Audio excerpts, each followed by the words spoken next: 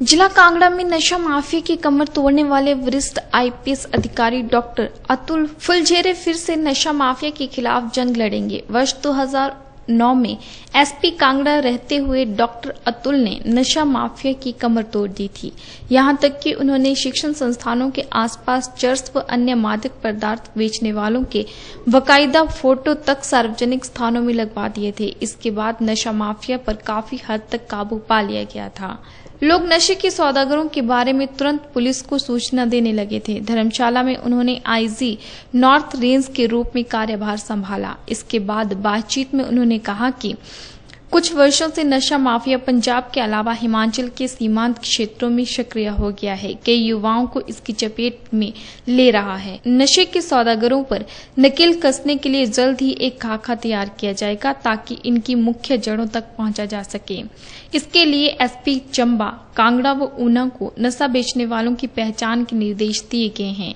नशे की चपेट में आ रहे युवाओं को बचाने के लिए पुलिस जागरूकता कार्यक्रम में भी कुछ बदलाव करेगी। उन्होंने कहा कि चंबा जिला के साथ लगती जम्मू कश्मीर की सीमा में सुरक्षा के लिए जो भी बदलाव करने होंगे वह किए जाएँगे। इसके लिए वह जल्द चंबा का दौरा करेंगे। आईजी उत्तरी क्षेत्र डॉक्टर अतुल, एक चिकित्सक से पुलिस अधिकारी बने। डॉक्टर अतुल 2001 बैच के आईपीएस अधिकारी हैं।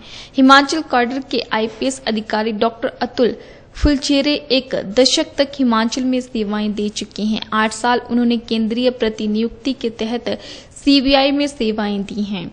कांगड़ा व ऊना में पुलिस अधीक्षक के पद पर रहते हुए अतुल ने कई बड़े अपराधियों को सबक सिखाया था। धर्मशाला में आयोजित पहले आईपीएल में सुरक्षा व्यवस्था के लिए तैयार किया गया डॉक्टर अतुल का रोड मैप आज भी बहुत अहम भूमिका निभाता है। उन्होंने पुलिस की सेवाओं के लिए नहीं, बल्कि सूचना का अधिकार के तहत राष्ट्रीय स्तर पर सम्मानित किया जा चुका है। 2009 में इन्हें देश का बेस्ट पीआईओ अवार्ड मिल चुका है।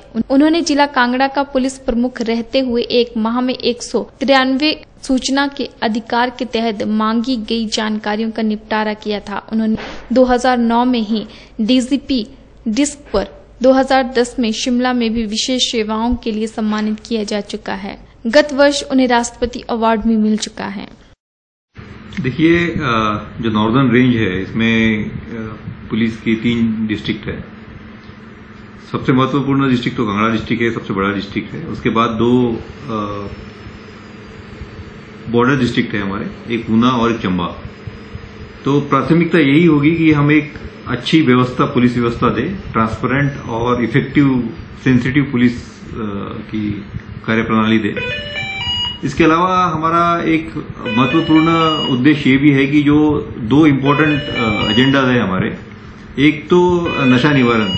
आजकल जो ड्रग्स का जो काम चल रहा है, जो नए बच्चे ड्रग्स की तरफ़ जा रहे हैं तो उसमें जो उसका काम हो रहा है, उस पर हम कैसे रोक लगा ले?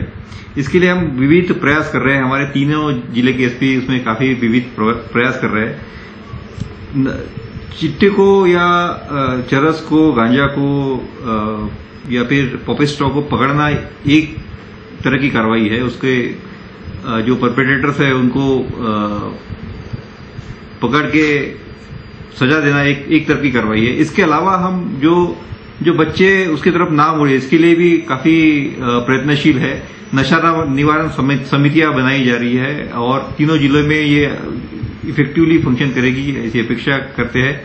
जो पब्लिक एंगेजमेंट है, उसको हम ज़्यादा हार्नेस करना चाहते हैं, ताकि लोगों में, लोगों के बीच जाके, लोगों के प्रति जागरूकता जागरूकता जगा के लोग एक मूवमेंट खड़ी कर दे हम, ताकि इसमें जो एक अच्छी जन जागृति तैयार हो और हम नशे के खिलाफ एक एक सोशल फोर्स पैदा कर कर पाए ताकि हम अपने नेक्स्ट जनरेशन को बचा सके। तो इसका एक आ, हम हम सभी तीनों तीनों तीनों ज़िले के एसपी और हम सब प्रयत्नशील है। और हमारे पुलिस हेडक्वार्टर से भी यही डायरेक्शन आती रहती है और मार्गदर्शन होता रहता है। इसके अलावा हम एक्सीडेंट्स पे कॉन्सेंट्रेट कर रहे हैं क्योंकि जैसे एक्सीडेंट्स काफ़ी बढ़ रहे हैं और उसमें निर्दोष जाने जा रही है। तो एक, ये भी हमारा एजेंडा है कि हम एक्सीडेंट को कैसे रोक पाए और जो विविध, इसमें जो स्टेक होल्डर्स है, उस, उसको हम एकत्रित करके एक संगठित तरह से हम इसको कैसे कम किया जा सकता है, इस पे विशेष